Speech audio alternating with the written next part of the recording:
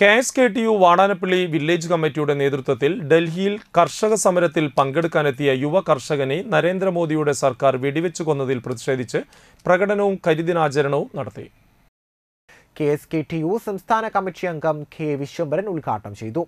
K K Anilkumar അധ്യക്ഷത വഹിച്ചു. Suresh Madathil C M Nisa T N Jayakumar Beena Shelly A Yusuf സംസാരിച്ചു. T A Noorudheen A R Vasu V K Madhu K R Vinayan Baby Ratheesh N V Dasan C K Jayan V G Vinodan K C Sudha എന്നിവർ പങ്കെടുത്തു.